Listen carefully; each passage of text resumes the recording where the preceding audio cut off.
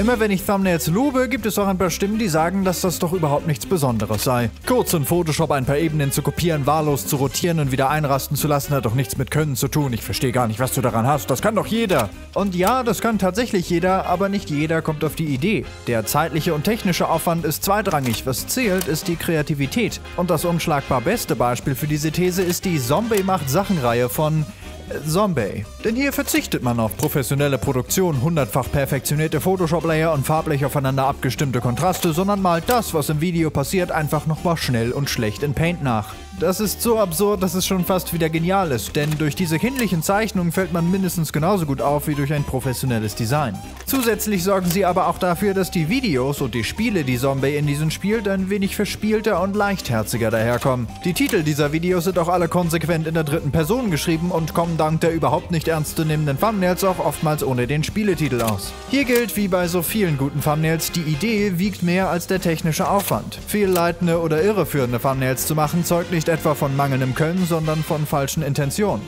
Und genau aus diesem Grund kann eigentlich jeder da draußen gute Thumbnails machen, ohne der nächste Photoshop-Messias zu sein.